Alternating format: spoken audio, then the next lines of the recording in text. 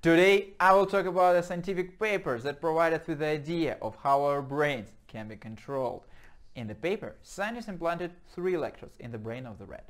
Electrodes were inserted in the right and left somatosensory areas and in the region regulating pleasure. Later, the researchers coupled the stimulation of the pleasure area with the necessity to move to the right, left or forward. Therefore, one can potentially manipulate the animals like with a PlayStation joystick. What was the result of the paper? Total control! Is a computer-generated dream world built to keep us under control.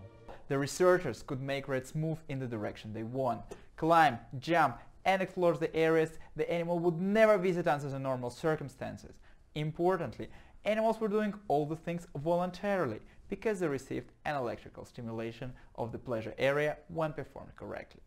The research was published in 2002 in scientific journal Nature and was sponsored by the organization affiliated with the US military defense. No.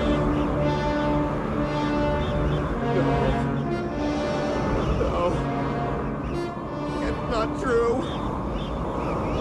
That's impossible! Search your feelings. You know it to be true.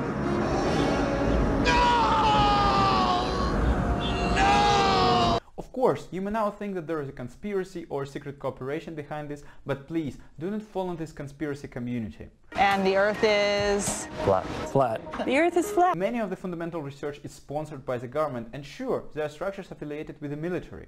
Millions we've saved by advancing medical technology or kept from starvation with our IntelliCrops, all those breakthroughs, military funding, honey. However, all of the research presented here is open and available online. In this particular case, there are direct practical applications of these guided threads, such as using them as biosensors or searchers in the hard-to-reach areas, for instance, after an urban destruction.